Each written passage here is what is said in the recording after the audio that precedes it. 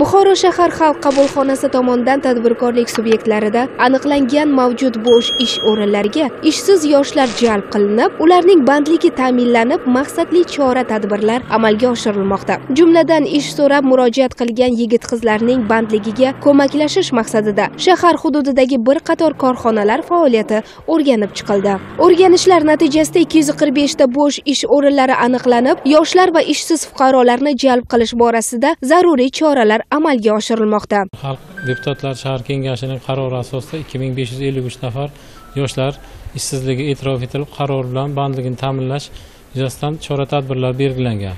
Mazkur chora tadbirlar asosida buxoro shahar xalq qabulxonasi tomonidan avvalambor shaharda faoliyat yuritayotgan xususiy sektordagi tadbirkorlik faoliyati bilan shug'ullanadigan korxonalar ishlab chiqarish korxonalari o'rganilib monitoring qilib ulardagi mavjud ishchi o'rinlari tahlil qilindi. Shu tahlillar natijasida ko'ra ikki yuz to'qson oltita bo'sh ishchi o'rinlari aniqlandi.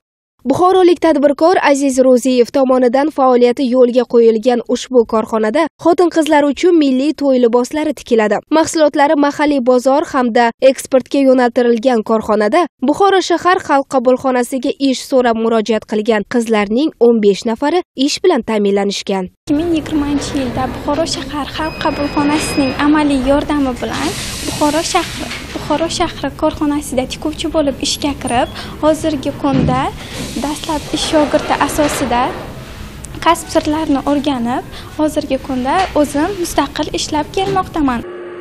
Fuqarolar murojaatlarini o'rganish muammolar yechimiga qaratilgan tadbirlar xalq qabulxonasi tomonidan muntazam davom ettirilmoqda. Saida ergashev abdulla rajabov zamon informatsion tahliliy dasturi uchun buxorodan tayyorlandi.